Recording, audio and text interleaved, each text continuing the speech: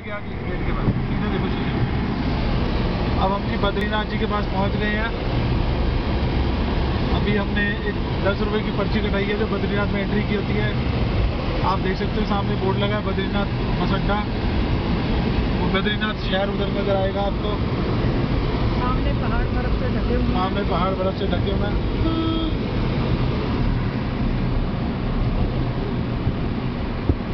बर्फ़ की चोटियाँ नज़र आ रही हैं। एंट्री करवानी है?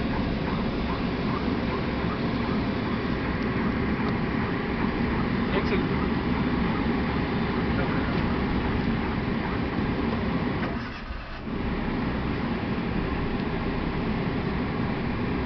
मंदिर जाने के लिए कौन सा रास्ता? यही वाला